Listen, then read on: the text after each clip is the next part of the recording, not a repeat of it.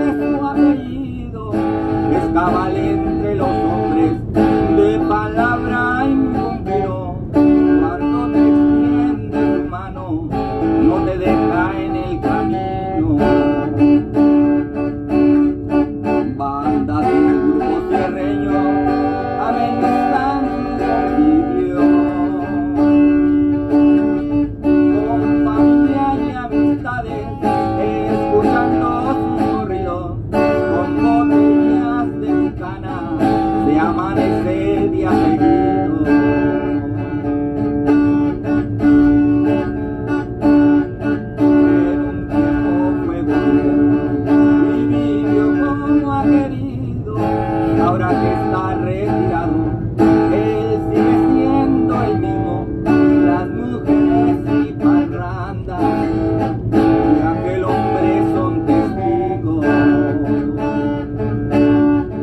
le han gustado las mujeres y la suerte lo ha seguido, cuánta muchacha bonita.